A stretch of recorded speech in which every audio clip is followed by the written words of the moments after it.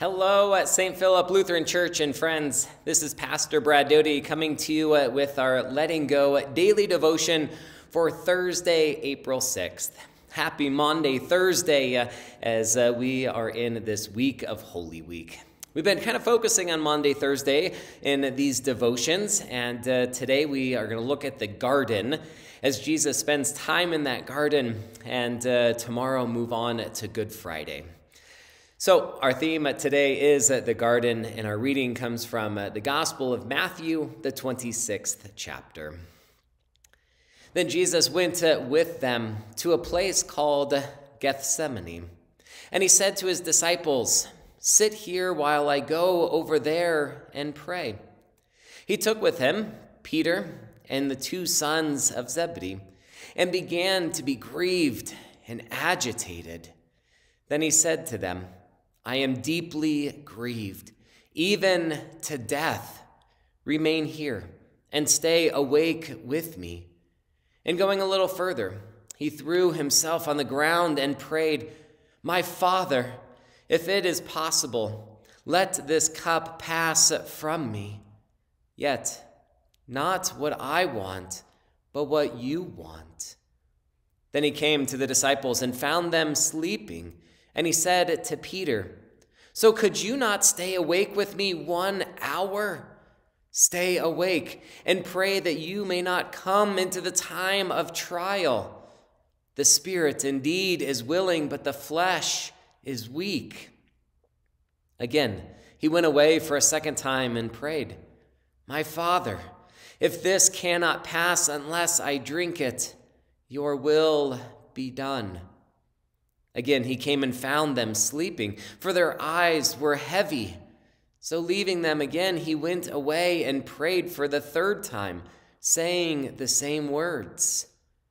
Then he came to the disciples and said to them, Are you still sleeping and taking your rest? See, the hour is at hand, and the Son of Man is betrayed into the hands of sinners. Get up, let us be going. See, my betrayer is at hand. The gospel of the Lord. Praise to you, O Christ. Well, I don't know about you, but I'm not great at praying at night. My eyes, too, get heavy. Often it's in bed uh, or a time where I am just uh, exhausted or tired from the day and ready to sleep. Praying at night is not something that works for me, and obviously didn't work for the disciples either. I'm sure they were exhausted from their long day. They always travel and walk, and by the time it hits night, they are ready to close their eyes.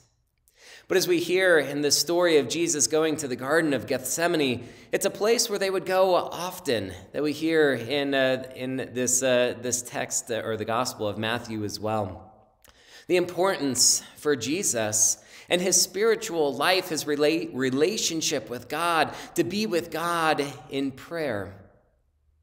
And it says that he was with, the, or he was gone from the disciples an hour. Have you thought about praying for an hour? And then he went and prayed for another hour and prayed a third time. Not sure how long that time.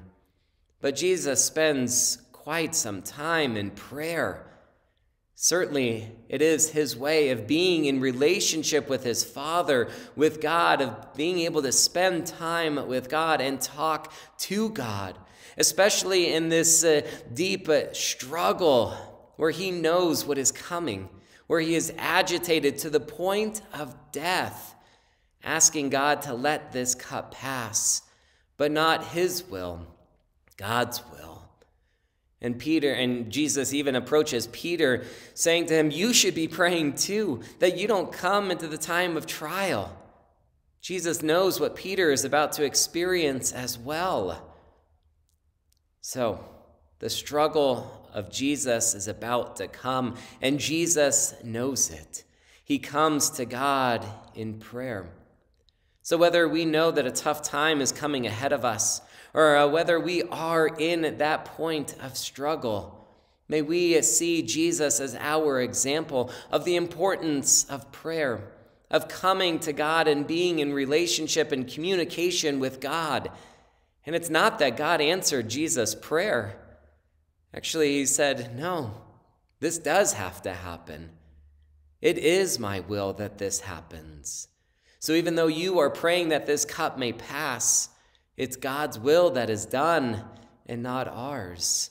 So may we know, even though that God may not answer our prayer, or at least the way we want God to answer our prayer, or maybe that answer is no. May you know that God is with you, that God is listening to you, and that God loves you, that God will be with you through that struggle or through that time that you are going through. But may we come to God in our spirit to be able to worship God, to be able to talk to God, to pray to God, and give thanks to God. Let us pray. Lord God, we give you thanks for the gift of your Son. We give you thanks for this example of your love of uh, the example of how we can be in spirit with you in prayer. Finding that time to be alone, to be able to come to you in a quiet place where our focus is on you. So, Lord, may we find uh, that garden in our lives, a place where we can go to be in your presence, to experience your love to experience your grace, to be able to come to you with our joys, our concerns, our struggles, our fears, our desires. So, Lord, we thank you for your presence and for being with us and hearing us when we come to you. In Jesus' name we pray. Amen. May the Lord bless you and keep you. May the Lord's face shine upon you with grace and mercy. May the Lord look upon you with favor and give you peace. Amen. Happy Maundy, Thursday, and have a blessed day.